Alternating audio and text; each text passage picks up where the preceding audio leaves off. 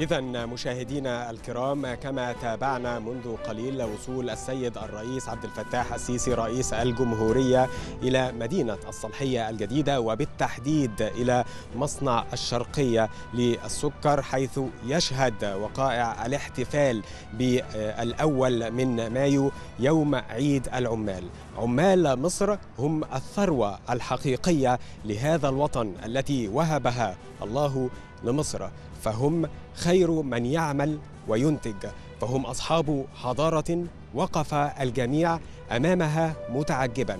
وها نحن نشهد في عهد الرئيس عبد الفتاح السيسي استمرارا لهذه المسيرة حيث يستمر الأبناء في إقامة ما صنعه الأجداد. فاليوم الأبناء يصنعون جمهورية جديدة. هذه الجمهورية التي اتخذ فيها القيادة السياسية الخيار الأصعب وهو العمل في كل القطاعات التي تضر دخلا للمواطن المصري وتنعكس أيضا على التنمية. فإذا تحدثنا على سبيل المثال عن قطاع الزراعة فنجد أن الرقعة الزراعية لمصر تم إضافتها لأكثر من ثلاثة ملايين ونصف فدان.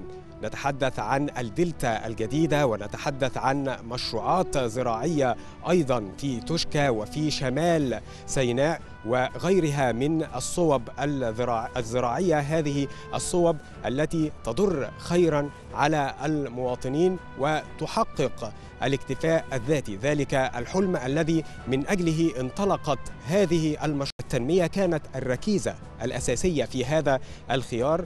هو العامل المصري. ذلك العامل الذي قدم فأخلص ووعد فأنجز.